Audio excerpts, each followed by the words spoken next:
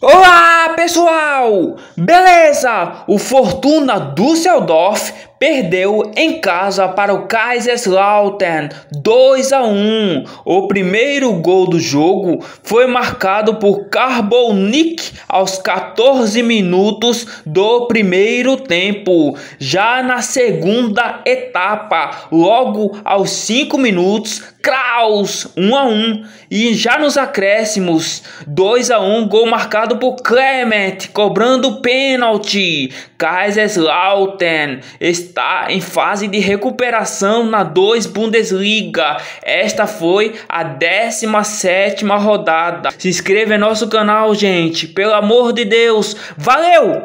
Quem disse que acabou? Não acabou nada. Em breve um novo vídeo. Tchau!